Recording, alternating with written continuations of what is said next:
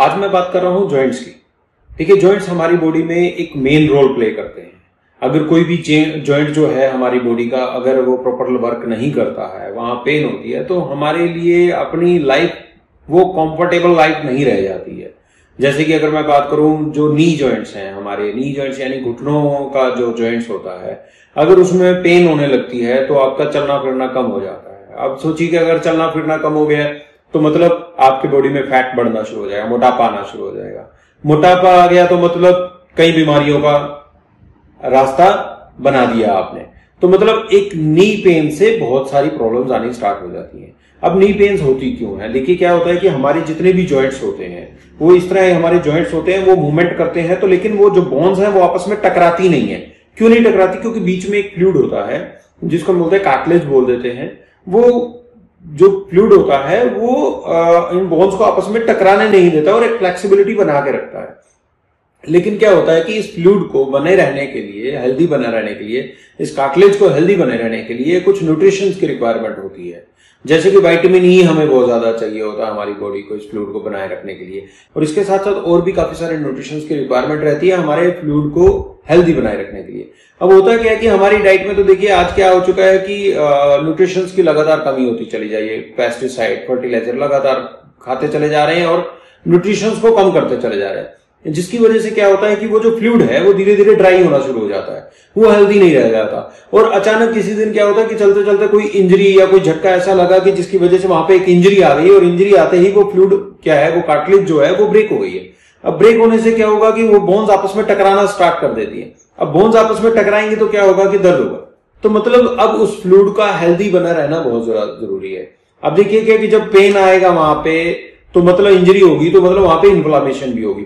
अब इन्फ्लामेशन हो गई है तो वहाँ पे क्या होगा कि इन्फ्लामेशन के कारण कोई भी न्यूट्रिशन ब्लड के थ्रू ट्रेवल करके वहाँ तक पहुँच नहीं पा रहा है। अब क्या होगा अब वहाँ तक को, कोई भी चीज़ है उसको रिकवर करने के लिए तो आपको क्या चाहिए? न्यूट्रिशन चाहिए।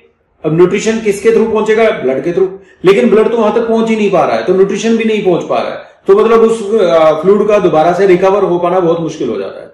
तो यहाँ पे हमारी कंपनी बायोसेश ने हमें कुछ ऐसा प्रोडक्ट डेवलप करके दिए हैं, जो नी पेन में बहुत ज़्यादा सपोर्ट करते हैं। जैसे कि एक तो है सीबोक्थोन टर्मरिक ऑयल इसमें क्या है कि सीबोक्थोन के साथ साथ टर्मरिक ऑयल को यूज़ किया गया, यानी हल्दी का तेल।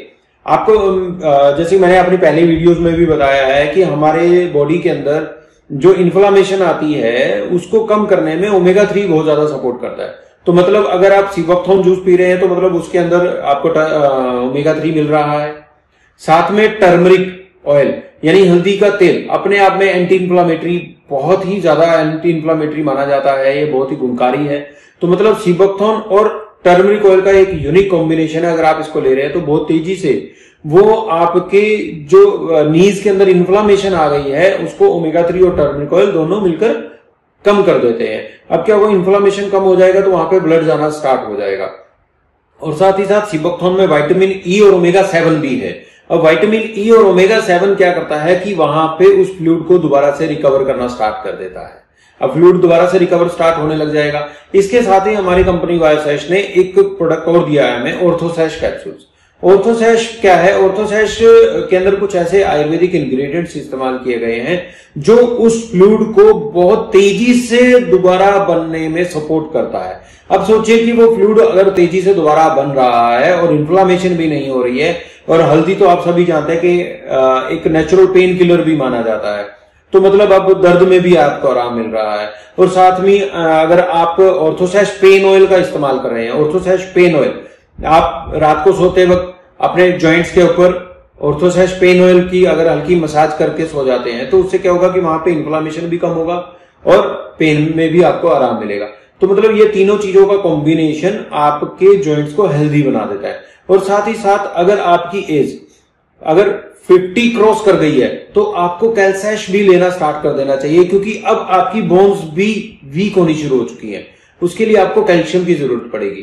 तो मतलब आप अगर इन चारों चीज़ों का इस्तेमाल करते हैं सीबोक्थोन में टर्मरिक ऑयल दूसरा है ऑर्थोसैश कैप्सूल तीसरा है ऑर्थोसैश पेन ऑयल और चौथा है हमारा कैल्सैश कैल्शियम तो मतलब आपको ये चार चीज़ों का कॉम्बिनेशन एक हेल्दी जॉइंट्स बनाने में सपोर्ट करता है।